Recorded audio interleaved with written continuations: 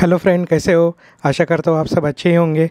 Welcome to one more new episode आज हम change करने जा रहे जा रहे हैं हमारे Apache R T R two hundred four V का हैंडल बार रेज़र हम हैंडल बार रेज़र यहाँ पे लगाने वाले हैं। आप जैसे ही देख रहे हो ये मैंने जे ई एम कंपनी का हैंडल बार रेज़र मंगवाया है। uh, ये तक तकरीबन वन इंच का हाइट हमारा हैंडल बार का रेज़ कर देगा। uh, थोड़ा सा मुझे लीन होना पड़ रहा था लॉन्ग राइड में। सो लॉन्ग राइड में uh, मैं नहीं चाहता था कि कुछ बैक पेन या कुछ दिक्कत आए, वैसा तो होना नहीं चाहिए, लेकिन still for a comfort point of view मैंने ये मंगाया था।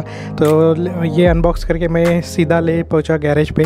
तो आप देख रहे हो गैरेज वाले भैया इसको चेंज कर रहे हैं।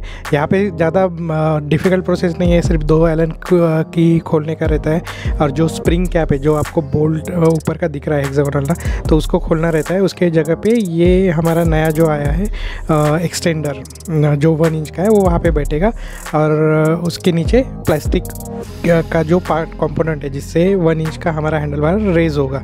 तो ये बहुत ही सिंपल है।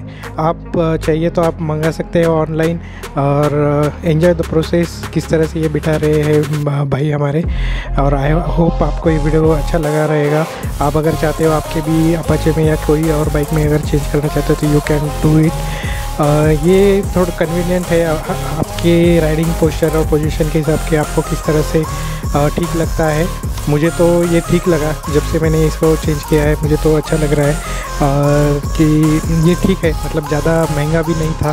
हैंडल बार रेजर तो करीबन बारह सौ तेरह सौ को का मुझे ऑनलाइन मिल गया था। और इसको बिठाने का खर्चा तकरीबन बीस पच्चीस रुपये सिर्फ़ बस इतना ही। तो ये मॉडिफिकेशन मुझे काफ़ी अच्छा लगा। इस पर खर्च करना वर्थ था। तो आप सोच सकते हो, अगर आपको अपनी बाइक में मॉडिफिकेशन करना है तो आप इस तरह से कर सकते हैं। I hope you like this video please subscribe like and comment in the chat box stay tune for the next video thank you